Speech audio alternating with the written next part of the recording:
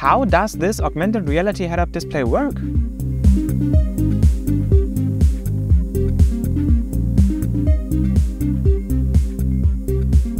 Wow, what a show!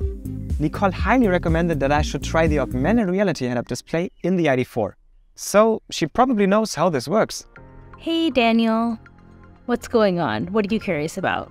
The other day you were raving about the head-up display in the ID4. Can you explain to me how it works? It is true, I do love the head-up display. So why don't we start if you can see it. If you can't see it while you're driving, then you have to go to the menu to activate it. Head on over to the menu and click on Vehicle. Then you have to select Vehicle again. Next, select Interior and then Heads-Up Display. In this menu, you can activate and adjust settings like brightness and position. Done. What else? And you can activate the augmented reality functions. So why don't we take a little drive together to test it out? Put me on hands-free, mm, very important. And then why don't you put a destination into the navigation so you have something to see in the head-up display? Activated.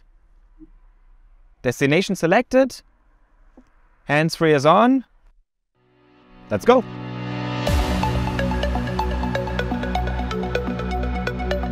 In your field of vision, you should now see the head-up display. And you should see it in a way that blends in with the rest of your vision.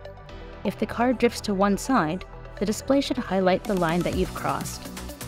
And the navigation cues should be positioned in such a way as to point to the road that you need to turn onto. Wow, that looks pretty futuristic. Yep, that's augmented reality for you. It helps you focus on the road. Fantastic. Thanks for the recommendation. No problem, Daniel. Call anytime. Tschüssi. Bye.